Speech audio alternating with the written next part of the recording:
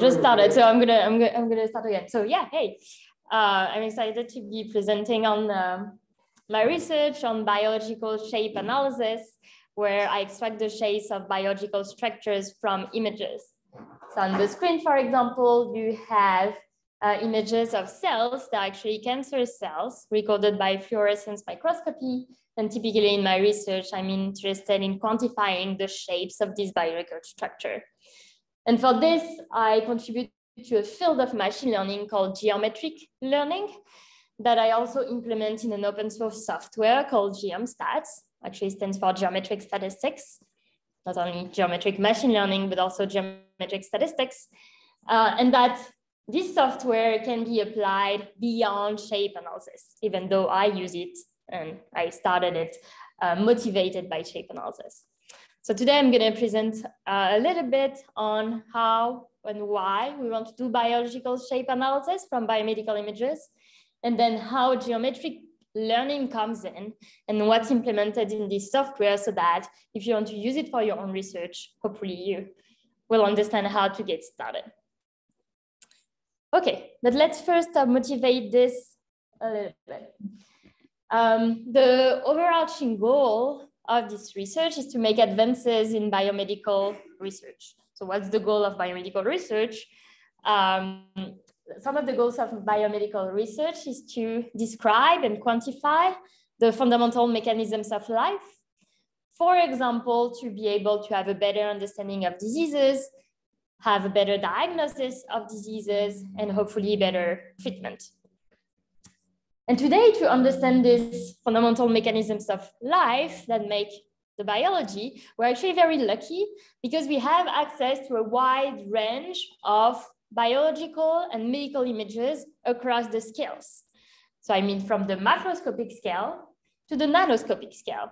And all of these new imaging modalities, new way of imaging the living have allowed us to observe biological structures in action.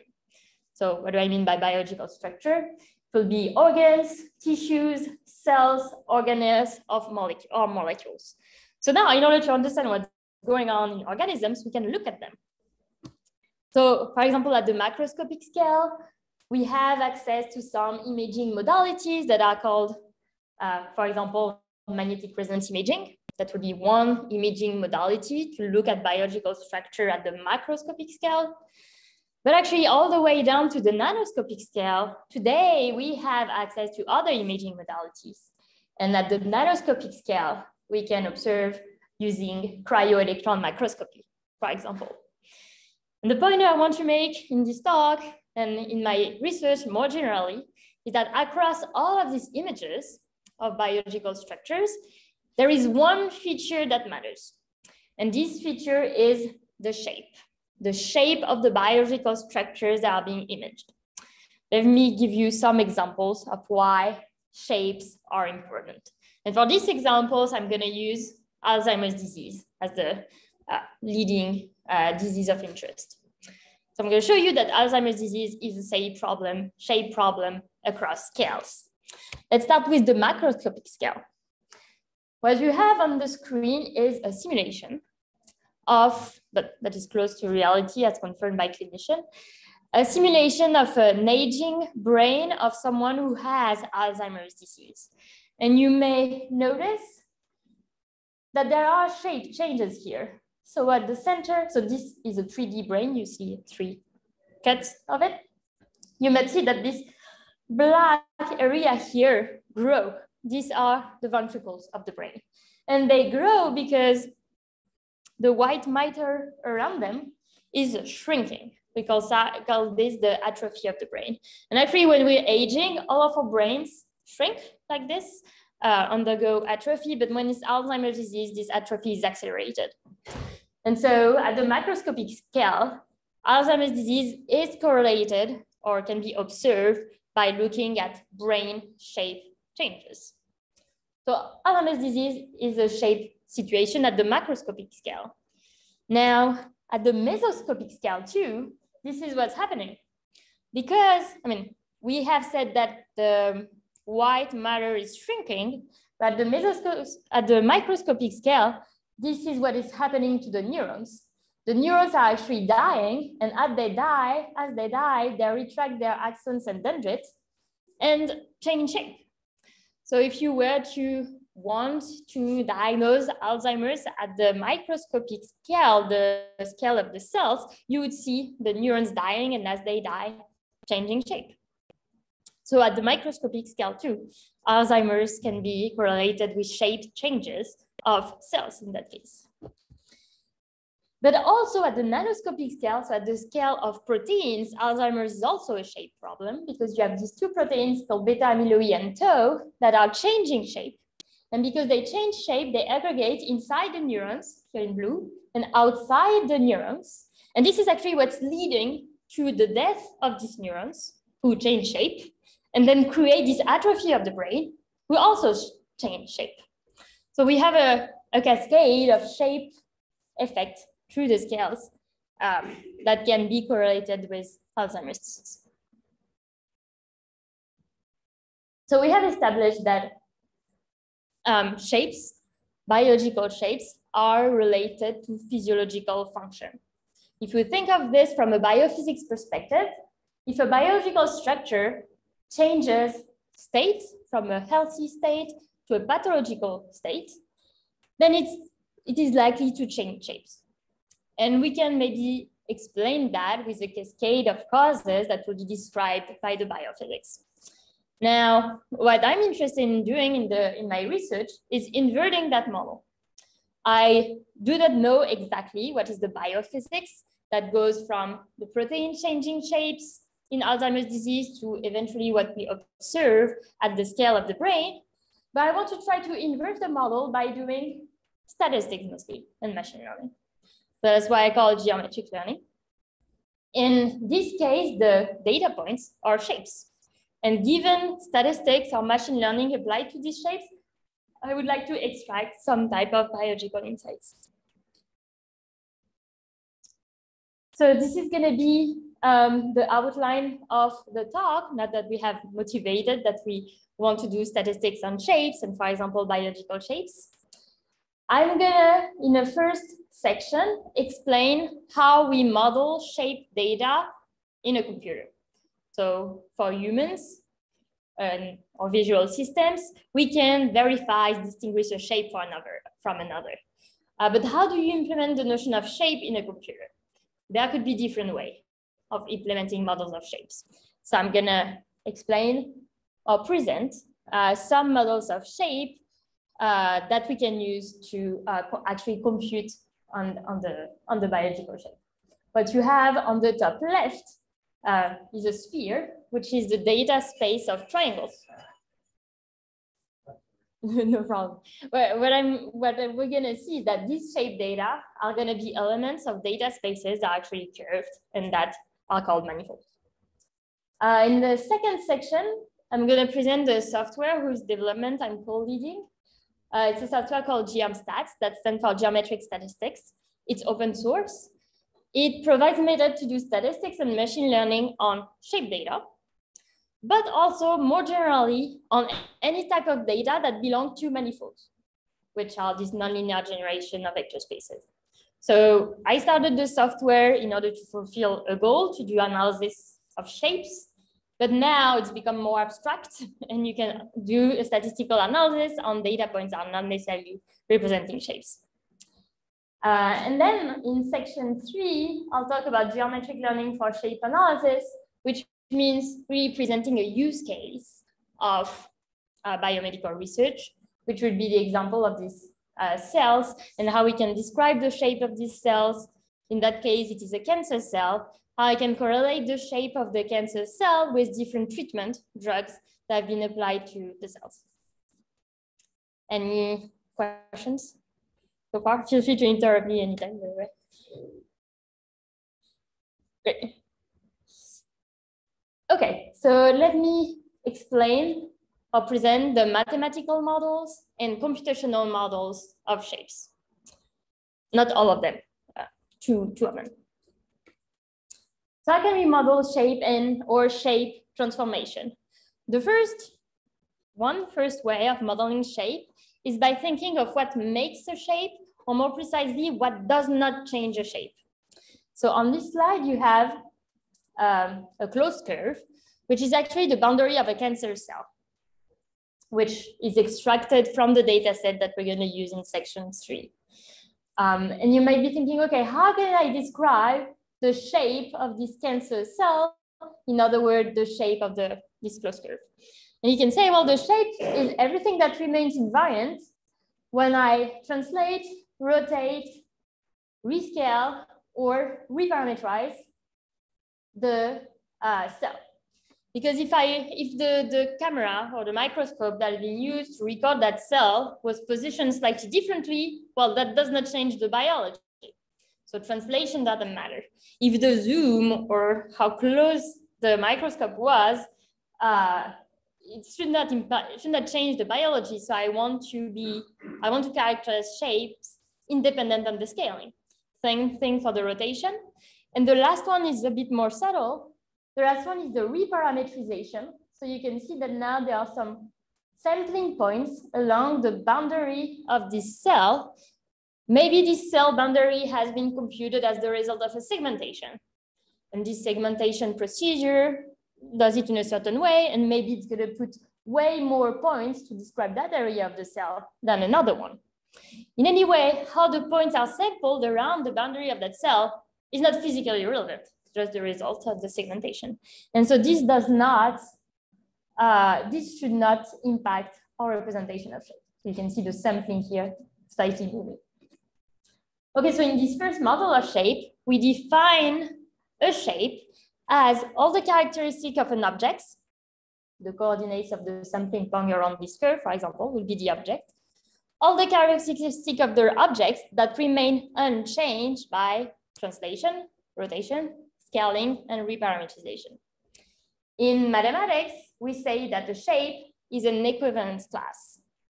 The shape is represented by all the objects that have the same shape. So all the objects that can be obtained that are equivalent by a transformation corresponding to a translation, scaling, rotation, and reparametrization.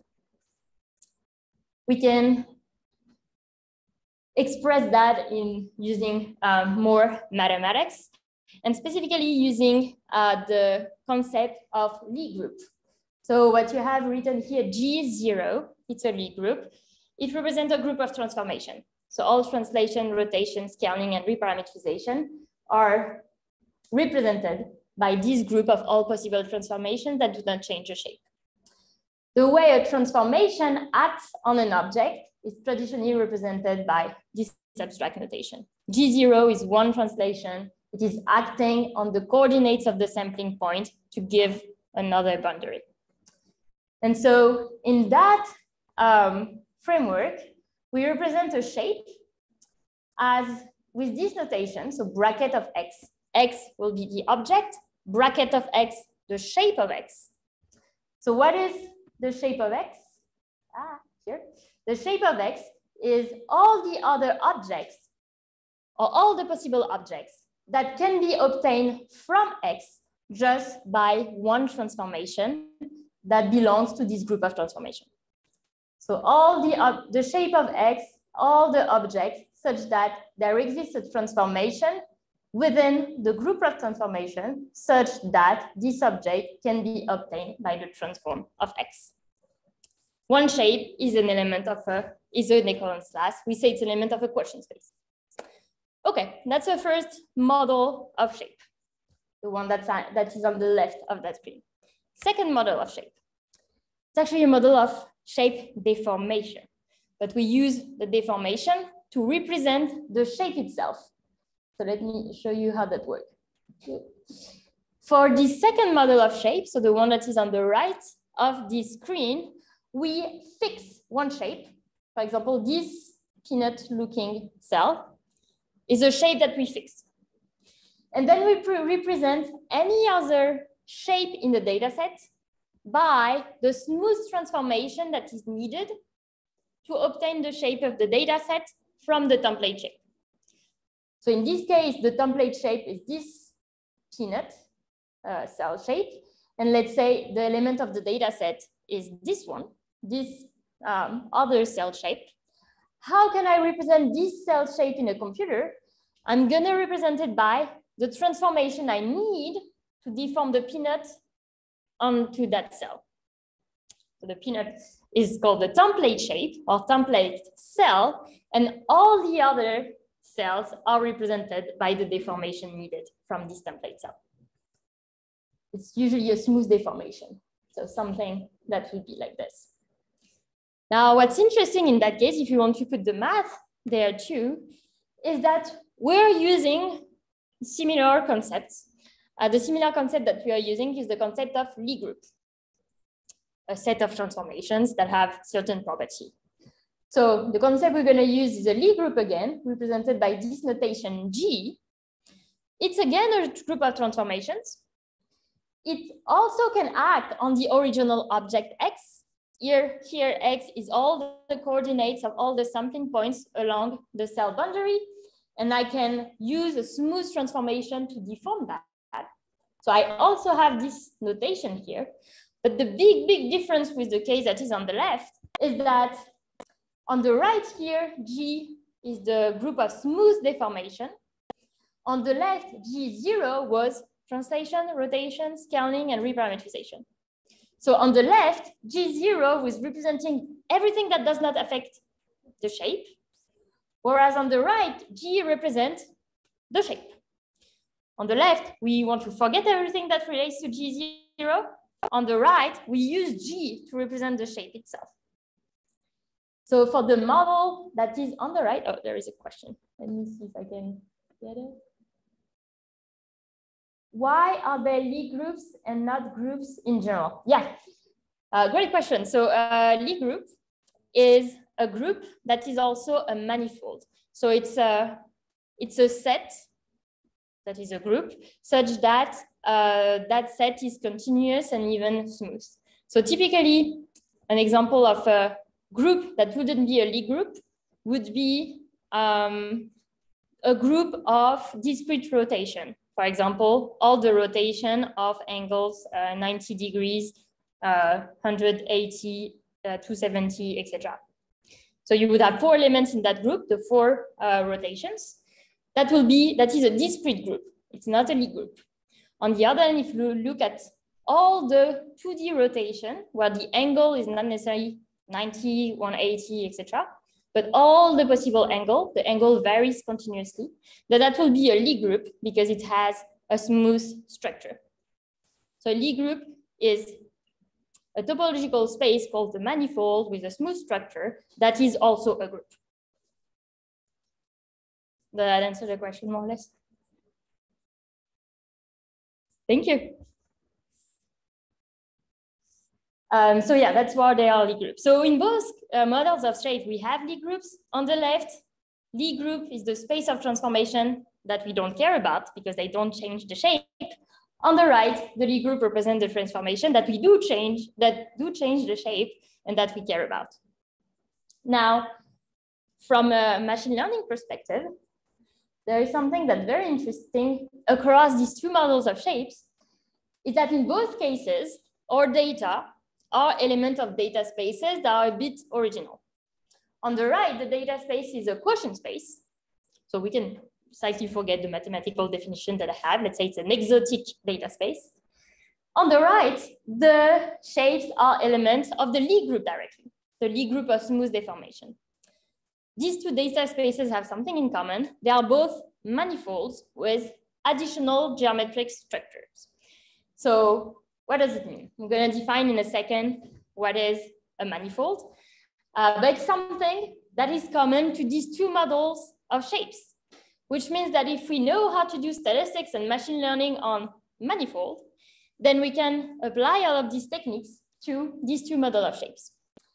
And even further, actually manifolds can represent, can be data spaces of data that are way beyond shapes. So covariance matrices are elements of manifold. Um, here, like trees can be modeled as element of manifold, etc., etc. So there is a more general motivation uh, to define statistics on manifolds. Okay, but what are manifolds? Uh, so we have established that shape spaces are manifolds. or more precisely, I've told you that in both models of shapes, the data spaces that are the shape spaces are manifold. What is a manifold? A manifold is a space that is a nonlinear generalization of a linear space or a vector space. So linear space, for example, the linear plane. Here, what you have on the screen would be an example of manifold. So the surface of that sphere, sphere is an example of manifold because it's nonlinear, it's curved. It's a two-dimensional curved space. And actually the sphere that you have on that screen, it's a bit more than a sphere. Uh, you see that I superimpose triangles on, uh, on the grid, let's say, uh, on the sphere. And actually this, the sphere is a model of the shape space of triangles. So if you're interested in why that is the case, there is a nice mathematical proof by Kendall. Um, but you can show that the space of triangles as defined by the definition that I have on the that I had on the left before, so with the quotient space, the shape space of triangles is actually a sphere, which is uh, manifold because it's a nonlinear generalization of a vector space. So a low dimensional example of manifold would be the data space of the shapes of 2D triangles, which is literally a sphere. But in the other example of shape spaces that we could be interested in, shapes of curves, shapes of surfaces, shapes of not only land, three landmarks, but maybe pentagons, uh, they would use hypersphere at some point, and therefore they're also uh, manifold. So what we are interested in, in this context, is to be able to compute with data points that live in this data space. So that are elements on of this manifold. Let's say I have a data set of triangles, then this would be the data points put on this sphere. And I want to be able to do statistics on this sphere. So why can't we use traditional statistics, right? Because statistics and machine learning have been around for uh, quite some time now, and it's a, also a very uh, flourishing uh, research area. So why is it that the statistics and machine learning methods that are available are not suited to do statistics or machine learning on shapes? So this is a toy example that illustrates that fact. Imagine I want to compute the mean shape of two triangles. I have one triangle, two triangles. I want to say, okay, what is the mean of these two triangles in terms of their shapes? Now we have said that the sphere is the data space of triangle. So this blue point will represent my first triangle and this triangle shape. And this second blue point would represent my second triangle shape. If I apply traditional statistics, traditional statistics will tell me that the mean of these two triangle shapes is this orange point right? It's the middle of the two points. Uh, but now this orange point does not belong to the surface of the sphere. This means that the mean of two triangular shapes is not going to be a triangle, which is somewhat problematic. So I cannot directly use traditional statistics and machine learning. I need to be able to say, if I compute the mean of two triangular shapes, I want it to be a triangular shape. So it justifies that we want to have a theory of statistics and more generally machine learning that can do all of the computations on the surface of this sphere. In that case, we would generalize the definition of mean in order to get that result. So we would say the mean of these two triangles is the point that is at the middle of this curve, which is called a geodesic, joining the two points on the surface of the shape space. Now, I've explained this concept using the sphere as the manifold, but of course that applies to you know, way higher dimensional manifolds. Manifolds are a bit more abstract than just using uh, the sphere. Before I go in the next step, maybe I'll address one potential interrogation that you could have at this point, which is, what about we use traditional statistics and we compute this orange point, and then we just project it back to the sphere. And then in that case, we do have some, like the projection of the linear mean that belongs to the space and we're good. Uh, there are different problems with this type of approach. The first one is here, I, I show you a sphere, which is a two-dimensional manifold. as embedded in three-dimensional linear space.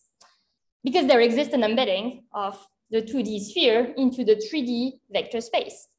Actually, for any manifold, there exists an embedding in a higher dimensional vector space, uh, but it's not always possible to compute that embedding.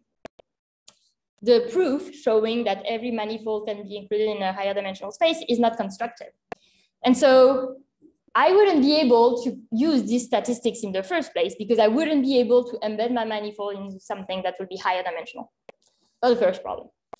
The second problem, let's assume I can embed the manifold in a higher dimensional space constructively, so I can do it in the code. Uh, I'm still increasing the dimension of the data. And usually in machine learning, we rather want to reduce the dimension of the data uh, for compute and memory uh, uh, optimization. So here, if I have statistics that allow me to compute directly on the surface of the sphere, I only need two degrees of freedom describe any point in the surface of that sphere. If I embed the sphere in 3D vector space, now I need three coordinates to represent each point. So in that toy example, it's just one more coordinate, so the loss is not that much, but you can imagine if you had to double the dimension of your data each time you want to do that, we feel that it's not the most elegant method at least. So we are interested in doing statistics for data that belong to manifold, which are these curved spaces that, for example, represent shape spaces.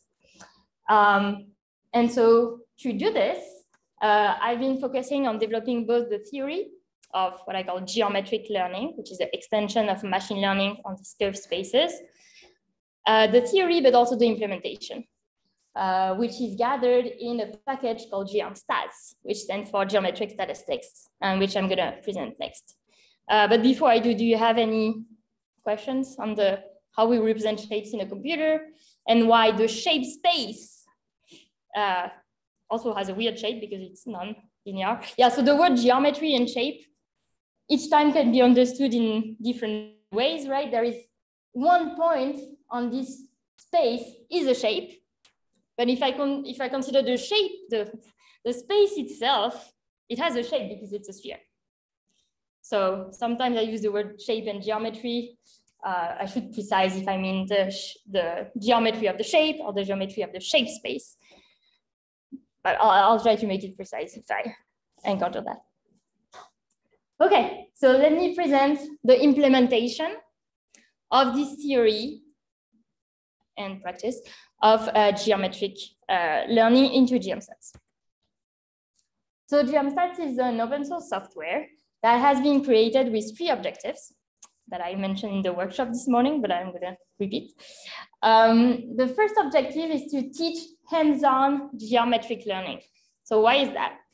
Uh, it's because in order to do geometric learning, we need to be able to describe the data space, which is this manifold.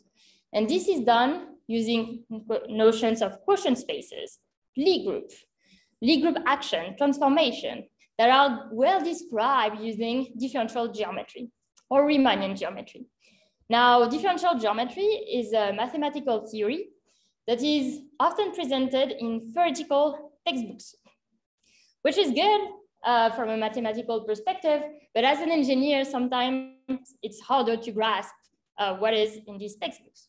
So GeomStats, the first objective of GeomStats is to be able to give a platform that allows to teach differential geometry, but with a hands-on approach by showing the code that corresponds to the quotient space, the code that corresponds to the Lie group. What is a manifold? Well, maybe if I see it implemented, I'll have a better understanding of what is the manifold. So this is taken from one of my classes when I, where I teach differential geometry using Jupyter notebooks. So I explain the concept of manifolds to the class using the code. The second objective of the software is to support research in geometric learning. So there, there are actually a lot of algorithms out there to compute for data that belong to manifolds. Uh, but often they had been uh, published, let's say, by mathematicians or applied mathematicians that have a very precise understanding of the theory. But if I come as an engineer and read this code, it's going to be way too abstract for me to understand and use it. Which is both bad for me because I'm missing out on an opportunity to use a new algorithm that will be good for my research, but also for the mathematician that has developed it, because while it could be useful, it is not actually used. So in that sense, Geomstat acts as a platform where mathematicians and applied mathematicians contribute their code. And when they contribute their code, of course, they reference their papers. And we uh, force them to put it in a way that we think is going to be understandable by uh, engineers, basically hiding mathematical details into some functions such that engineers or scientists, applied scientists can use the concept without needing to understand all the step-by-step -step details. And now that's good for uh, the contributors because their papers is cited here. So it has more visibility thanks to the platform, uh, but also it's going to be more used because it's easier to use so that the contributor is going to get more citations on average if they contribute their method to the package. It's also good for the user because it's easier to use. Uh, so yeah, it's a way of supporting research in geometric learning by showcasing all these great algorithms and making them easier to use. And the last one is more the user side, uh, democratize the use of geometric learning, which is tied to what I said uh, just before, but taking the user perspective this time. If the algorithms are well coded, well tested, integrated into geomstats, then as a user with no particular background in differential geometry, say, it's going to be easier for me to use that. So in terms of the software, uh, Geomstat is split into two main modules called one called geometry and one called learning. I won't mention the third one, which is information geometry for that talk, but you're welcome to go explore on GitHub if you wish. The geometry is the module that implements the manifold. What are the data spaces that we're interested in? So for example, I'm gonna have the manifold of triangle. I'm gonna have the manifold of rotations, the manifold of rotations and translations. This is implemented in a geometry part, part, which is an implementation of differential geometry. And then learning is the module that you could think of as an equivalent of scikit-learn, which is a machine learning Python software, but for data that belong to these data spaces that have now an exotic geometry. We also have a datasets module that provides open source dataset that live on this manifold so that if you want to contribute a new algorithm, you have actual data to test it on. A visualization module too. Um, Geomstat also comes in four backends. So all the computations work for NumPy, TensorFlow, PyTorch, and AutoGrad. Special mention to uh, TensorFlow, Torch, and AutoGrad that are backends that provide automatic differentiation.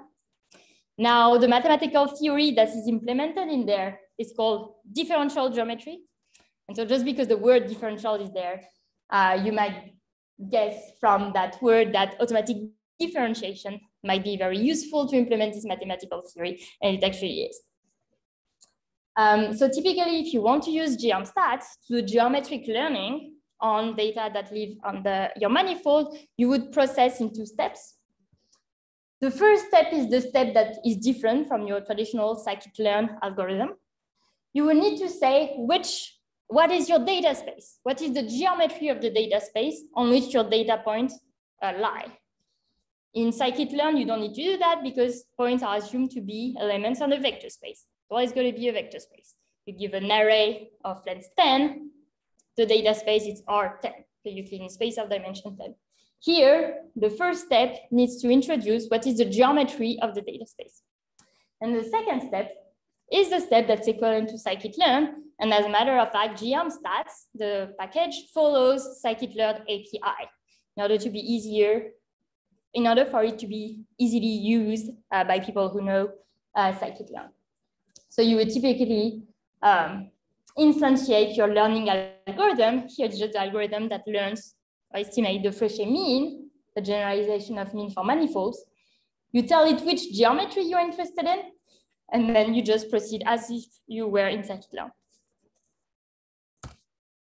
Now, there are related libraries uh, that do computations on manifolds, it's not only uh, stats, but they have different goals. So for example, the first three perform optimization on manifold. So they want to do, a, let's say, a gradient descent, descent, and they want to find the point that optimizes a certain criteria, that point belongs to a manifold. We do not do optimization, we do machine learning. Uh, you have PyTorch geometric, which has the term geometric in it. It's mostly deep learning on graphs. Theano geometry and Jax geometry are actually the same package, but re-implemented in JAX uh, as Theano became less maintained. And this is for stochastics on manifolds. And then you have the second half of this table, where it's statistics and learning on manifolds, but on special manifolds. So for example, these two, uh, PyRiemann and NiLearn, it's geometric statistics, points belonging to a curved data space. But the curved data space of consideration is only the data space of symmetric, positive, definite matrices. So all geometric statistics and geometric learning, but for that manifold in particular. The next one would be PyQuaternion. It's geometric statistics and learning, but for the manifold of 3D rotations only. This one, these two H2 surface mesh and SRNF match code are dedicated to do statistics on shapes of surfaces. Also, they're restricted in the data spaces and type of data that they're looking at. And the last one, Sage Math, which has a manifold module, is used in uh, general relativity. So a lot of the manifolds are implemented there are manifold that represents space-time or the geometry of space-time next to black holes, for example. So complementary goals, uh, but by comparison, we do geometric statistics and learning on a, a, general, a more general class of manifold. We are less in the application, we're more on the implementing from a numerical perspective, the theory of differential geometry and statistics on these subjects. Okay, so now how can we generalize these statistics? Uh, I explained that GeomStat does that, but how do we do in practice to take the theory of statistics and machine learning that has been defined on vector spaces and make it work on these curved spaces that are manifold? I'm going to present two perspectives to answer that question. The first one is the user perspective, meaning it's everything you need to know to be able to use and roughly understand what is in GeomStats.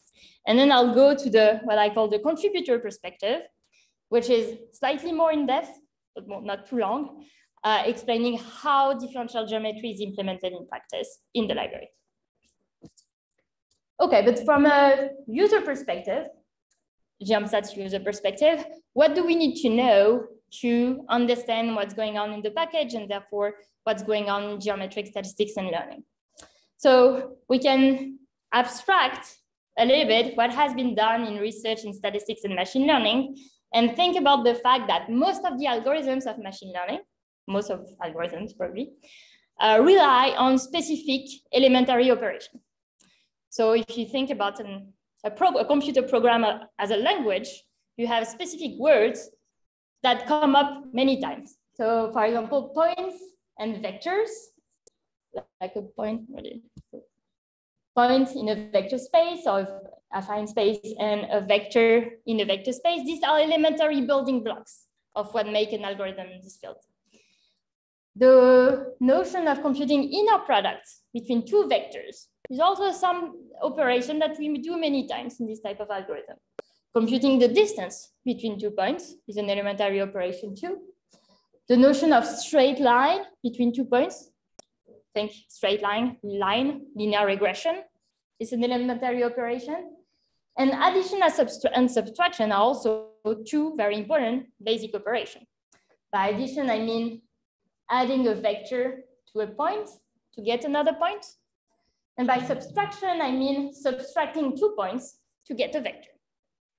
So if we were to abstract a lot of algorithms in the field, we would see that a lot of them relied on these basic building blocks, which give us a strategy to generalize statistics. Because if, one can, if we can generalize these building blocks, or if you can translate them to stay in the language analogy, then we can translate any machine learning algorithm to make them work on manifolds.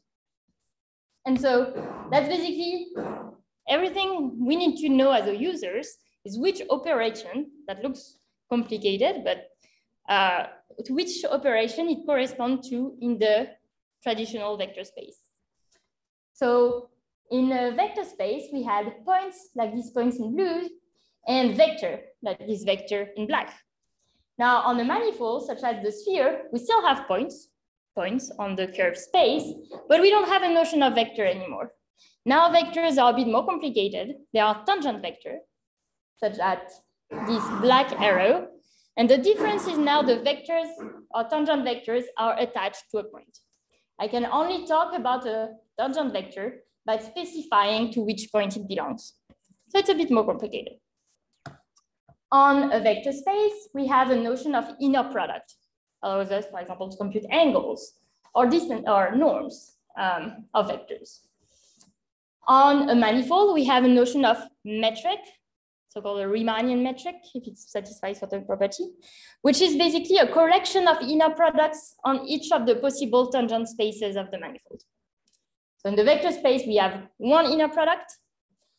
On the manifold, we have as many inner products as we have tangent spaces on the manifold, so as many inner products as we have points. On the uh, vector space, we have a notion of distance. We can compute distances between two points. On the manifold, this is going to call be called the geodesic distance. It will be the length of this curve connecting the two points. On the vector space, we have a notion of straight line, which is the curve of shortened length connecting two points. This is translated into a notion of geodesic on the manifold. And now the addition of a vector to a point becomes the exponential map of a tangent vector to a point. Vector added to a point gives another point. This tangent vector in black added to this blue point gives the orange point. On the vector space, we can subtract two points to get a vector, subtract these two blue points to get a vector.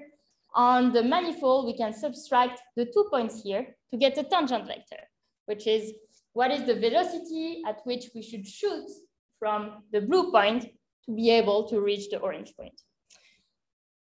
I haven't explained how we compute the geodesic, how we do the minimization, how we implement the exponential map, etc. Because I just want to emphasize this translation operation so that if you see a Riemannian X map in an algorithm, you can think of it as an addition of a vector to a point and this gives you a coarse understanding at least of what's, what's going on, which is translation view. And so in the code too, if you know what is X, what is log, what is geodesic, then you can use geomstats just by recognizing these keywords.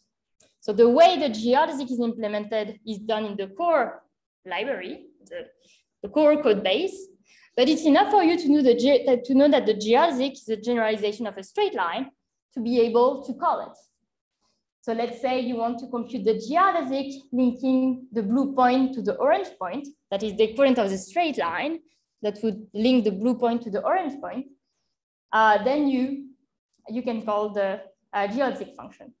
So you want to add the tangent vector in black to the blue point, actually it's Paris, if the sphere is the Earth, uh, then you can call the exp. And similarly, you can compute which tangent vector you would need to reach the orange point from the blue point. And so you use the log. So I've shown most of these examples on the sphere because it's a most well-known example of manifold and it's easy to visualize. But let me show you a little bit how you would use that to do computation on shapes and specifically on the two models of shape space that I had introduced before. So the model of quotient space, which is we quotient, meaning we remove translation, scaling, rotation, and reparametrization. We remove everything that does not change the shape.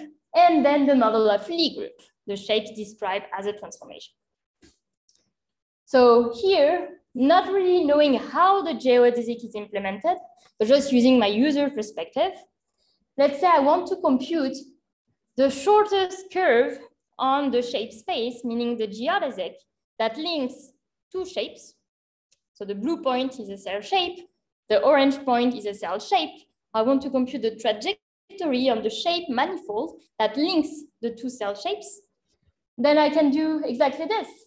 I instantiate the geometry of the shape space that I'm interested in using. Here is the shape space of discrete curve in R2, so discrete curves in 2D.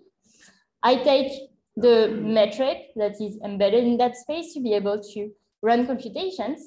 And if I want the trajectory that links one cell shape to the other, I can use the geodesic operation from cell shape I to cell shape J.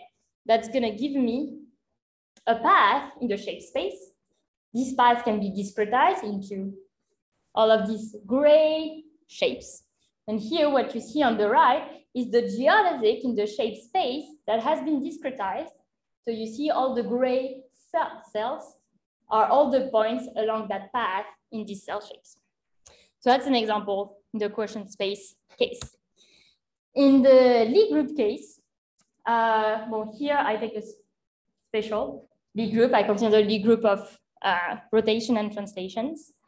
Uh, but here, uh, this is a geodesic in the Lie group of translation and rotation in three.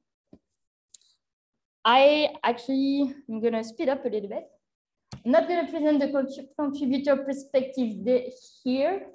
I'm just going to give you the overview of what exists in terms of geometry in uh, Geomstats. So we use an object-oriented programming approach, meaning that all of the data spaces that have these specific geometries are represented as Python class. So each box is a Python class. Uh, and you see that these boxes are organized into a hierarchy, while the top of the hierarchy, you have the most abstract representation of data space that we think of. In our case, it's the manifold. But if you go down the hierarchy, you start answering the question, which manifold am I really considering? So for example, here it's a manifold, or there was a question on Lie group before. A Lie group is a manifold that is also a group.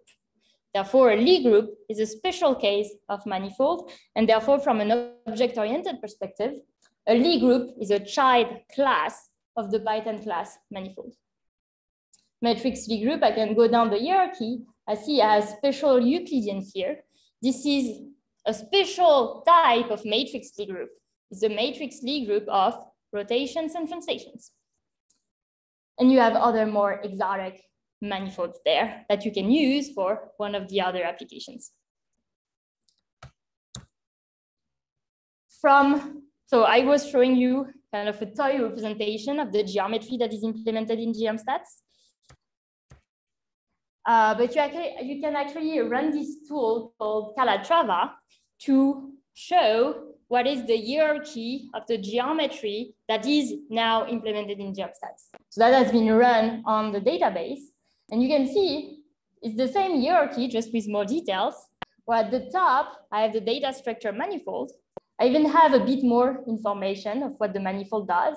Manifold has a dimension, has a shape. Uh, but here, what you can see is a numerical organization of this field of mass called differential geometry. So I call that a numerical differential geometry. And the goal of my research uh, in this case is not only to implement this mathematical theory in the computer, uh, but also find ways of doing statistics on it. And so therefore, I often say that my goal is to fill out this table, where in this table, on the different lines or different rows, you have different geometry that can be used to describe your space. It can be a Riemannian manifold, it can be a pseudo-Riemannian manifold, could be a Lie group. We talked about that one. And then for all of these different types of manifolds, how can I generalize all the, all the different fields of statistics and probability theory? What does it mean to do statistics on a Riemannian manifold? What does it mean to do statistics on a group? And same questions for um, deep learning, machine learning, etc. So there's 10 minutes left, I'm gonna conclude, but I'd be happy to answer any question. This is the BioShape lab at UC Santa Barbara, and thank you very much for your attention.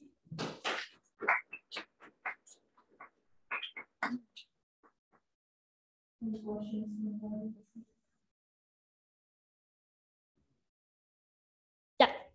I have a question. Uh, I'm understanding that shape um, will define life. That's, partially define, I guess, depends what you mean by define. Uh, so in biology, there is a fundamental biological assumption that shapes are correlated to function. Yeah. The distinguishing life from what? Well, even in non-life, you can shapes can be important. Uh, for example, I don't know, like a architecture building, depending on the shape they have, they might hold against earthquakes versus not. How, how do you explain how do the, geographer's? The geographer's dilemma is trying to find the length of the shore. And uh, simply just draw a line for one together or look for more details. Yeah. And the more details you look at,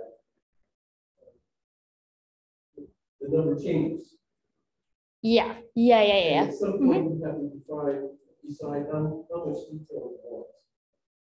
For example, yeah, the length of a shore, depending on the sampling, is going to be different because the more points you have. Uh, right. Mm -hmm. So you're doing the same thing here on, the shape. Mm -hmm, mm -hmm. How do you, what do you define? What point do you say? Enough. Yeah, that's a good question. Um, but first of all, the length is quotiented out. So this notion of size or this notion of scaling in the scale in the uh, case of shapes is the length. So it's literally the length of the boundary, which is literally what you are uh, mentioning. It's true that if I put more points along the boundary, this length is going to increase.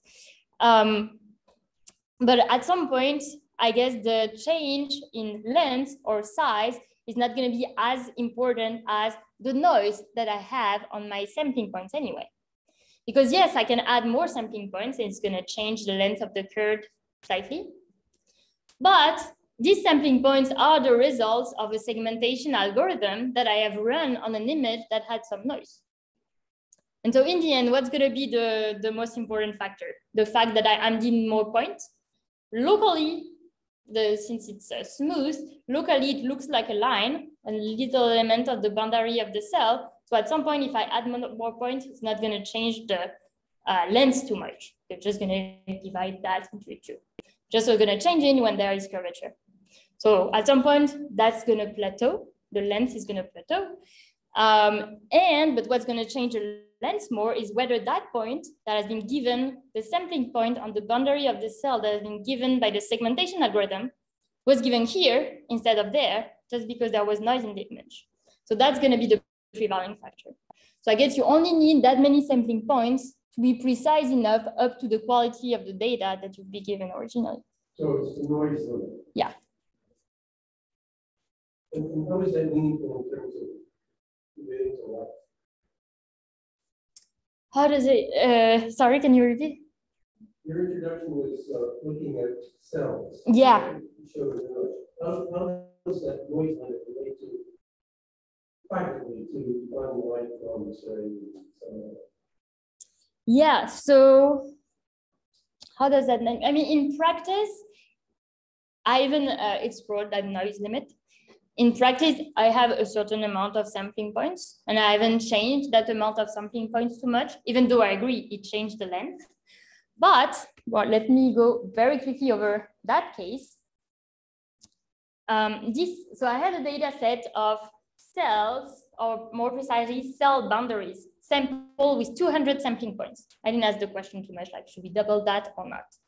I want to understand if there is a difference in shapes between cell, cancer cell shapes that have been treated with the drug uh, JASP, which is that with this treatment. Is there a difference in the cancer cells that have received the treatment JASP and the cancer cells that have received the treatment CYTD? I want to know if there is a difference in these shapes. Why? Because the shape of a cell indicates the health of what's called actin, which is a family of uh, protein that is involved in so many processes in the cells, including division, which is cell division, which is related to cancer. cancer. So the shape of the cell is important to understand if a drug has had an effect on this actin. So what I want to know is, is there a difference in shapes? So I asked this question with a sampling points of 200, with 200 sampling points per cell. And I answered that question there. And we can see that there is a difference with this sampling, 200. Um, because, yeah, so that will be the one treated with JASP in orange here, and that will be the one treated with uh, CYTD in orange there. So I can see that there is a difference. Now, let's say I move from 200 points to 400 points. I think that I'm still gonna see a difference. And that's everything that I need at this point to do this separation. And I don't, mean, okay, I could have a number of sampling points that is so low that I don't see any difference. But as long as I can increase it and see a difference, then I'm gonna be happy with that for the moment. But I agree that for future or more precise quantification of the phenomena, it'd be good to know how many. So you really don't have to for noise. I didn't. Whatever you're looking for, yeah. Yeah, yeah, yeah. Thank you. Oh, wait, there isn't one in the chat, I think, unless. No, okay. oh, there is one question. Um, you mentioned, it shouldn't matter on the magnification if the cells are different. Uh, Sorry, it shouldn't matter on the? You mentioned that it shouldn't matter if one is like more magnified than the other because you account for that. However, in the imaging of cells, our magnification, especially on these highly enriched brain cells, does show significantly more. So Uh-huh. is there an experiment, an experimental limitation? Or if I wanted to run my cells through this, like needing to stay on the same amount of? Um, so let me see if I understood the question correctly. Um, so you're saying the size of the cell is important in your case, and you want to keep that? No, sorry. I would say, so when we actually image the cells, the amount of complexity you can see at forty x magnification is significantly different than the amount you can see at sixty x. Yeah, yeah, yeah, yeah, yeah. So even though, like, in this it's saying it's a amount, you should still experimentally add it. Yes, I think it's also somewhat related maybe to the sampling, uh, like the resolution at which you can see the details on the boundary of the cell. Um, yeah, yeah, yeah. So I guess it depends if you had different data sets, one in big massive magnification and the other one in small, I would do the analysis separately and not mix both. Uh, then if you have a data set with like different magnific magnification, maybe I will just forget about this magnification effect, quotient it and compare everything. Yeah, great question, thanks. I do not see any questions online, so that's that. Thank our speaker once again. Thank you, thank you.